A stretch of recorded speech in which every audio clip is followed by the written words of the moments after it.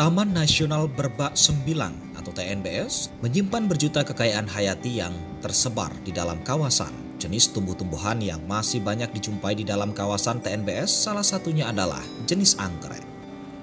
Tercatat, puluhan jenis taman anggrek hidup dan berkembang di dalam kawasan Taman Nasional Berbak Sembilang. Taman Nasional Berbak Sembilang merupakan hutan rawa gambut yang memiliki luas lebih dari 200.000 hektar. Ia masuk ke dalam dua provinsi, yakni Provinsi Jambi dan Provinsi Sumatera Selatan. TNBS memiliki berbagai jenis flora dan fauna endemik yang dilindungi oleh negara. Kali ini yang akan dibahas adalah jenis tanaman anggrek yang masih banyak dijumpai di dalam kawasan TNBS.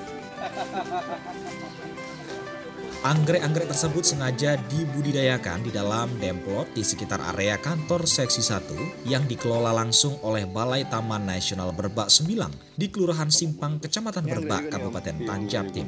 Terdapat puluhan jenis spesies anggrek di dalam kawasan yang berhasil diidentifikasi. Beberapa di antaranya merupakan tanaman endemik atau tanaman khusus yang hanya dilindungi dalam kawasan TNBS, meliputi jenis anggrek tutul dan pensil. Jenis anggrek ini hanya bisa dijumpai di dalam kawasan TNBS yang menyebar di sepanjang pantai timur, di antaranya di desa Air Hitam Laut, Jambi, dan Sungsang, Musi Banyu Asin, Sumatera Selatan. Jenis anggrek lain yang masih mudah dijumpai di dalam kawasan dan banyak dikembangkan oleh pecinta anggrek di antaranya jenis Dundrobium, Eria javanica, dan Acreophysis lilipolia.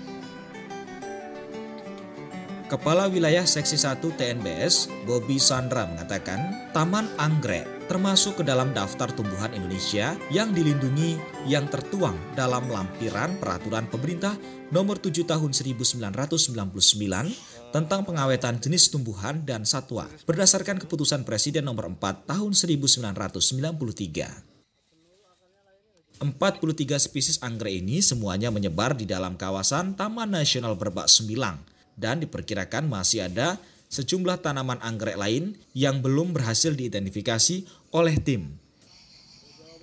Jika Anda ingin melihat jenis flora dan fauna yang masih dilindungi, pemirsa bisa langsung datang ke pintu rimba TNBS di kawasan Sungai Bungur, Desa Sungai Rambut, Kecamatan Berba.